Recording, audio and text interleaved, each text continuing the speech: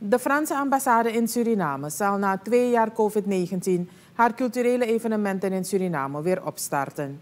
De pas aangestelde Franse ambassadeur in Suriname, Nicolas de Lacoste, maakte dit vanmorgen bekend tijdens een persconferentie op zijn residentie. Het hoofddoel van de activiteiten is het promoten van Frankrijk met al zijn diversiteit in Suriname.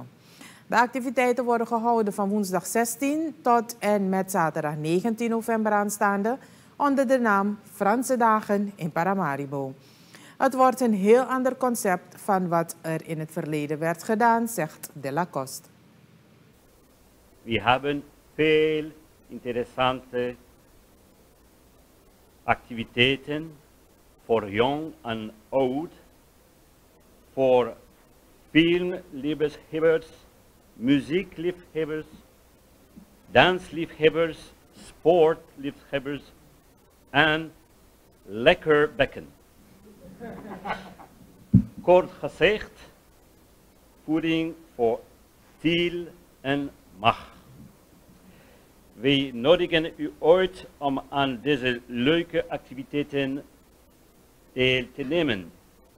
Ik zou in het bijzonder de collectiviteit territoriale de Guyane, de stichting Frans leraren in Suriname en de zondagmorgen bikers willen bedanken. En de sponsoren Total Energie en SuperU.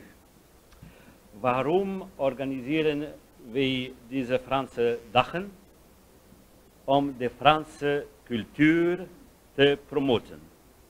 We zijn buren. We hebben veel te bieden.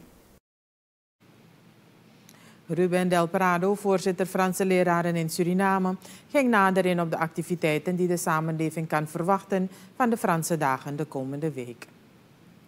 En de ambassadeur heeft het gezegd, film, sport, we gaan fietsen met de zondagbikers, de Touloulou komen. We hebben een paar lezingen, een lezing over de Franse coöperatie, internationale coöperatie en films. Um, het is een film die te zien is in uh, TBL Cinemas op 16 en 18. Een prachtige Franse film, gelukkig met Engelse ondertitels, dus daar hoef je niet bang voor te zijn. Lekker eten, dansen, muziek in, uh, in, in Wambong, uh, Biergarten is dat juist uitgesproken.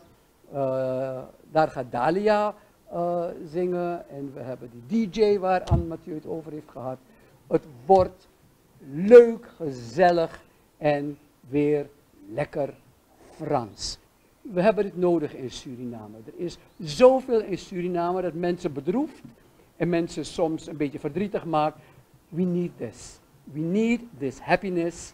We need to show France and Suriname, our neighbors, brothers and sisters and friends. De nieuwe Franse ambassadeur hoopt dat met het ondersteunen van de activiteiten de banden tussen de twee landen verder eh, verstevigd zullen worden.